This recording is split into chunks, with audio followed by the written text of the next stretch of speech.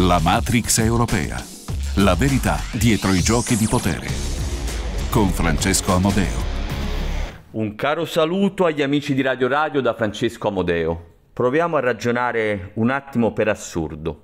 Diciamo che non esiste alcuna correlazione tra le morti a cui stiamo assistendo in questi ultimi periodi di giovanissimi colpiti da infarti, da miocardite, da malori improvvisi, tra poco avremo i dati del 2021 e davanti a questo innegabile aumento di morti improvvise la scienza deve dare una spiegazione.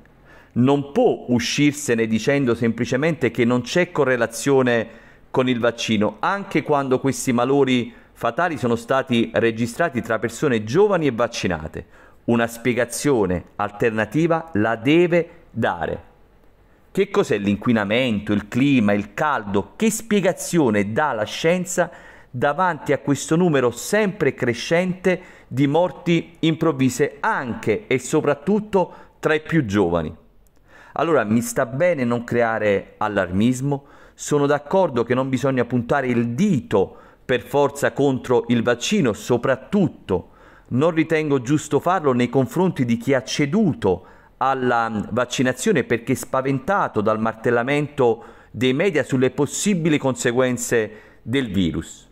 Quindi chi ha fatto qualcosa per paura delle conseguenze del non farlo non deve essere spaventato, non è giusto. Però se ci costringono a fare qualcosa in nome della scienza, la scienza deve dare una risposta quando viene registrato un fenomeno che non può essere considerato nella norma. E questa risposta non la devono pretendere quelli che erroneamente vengono definiti i Novax per giustificare la loro scelta.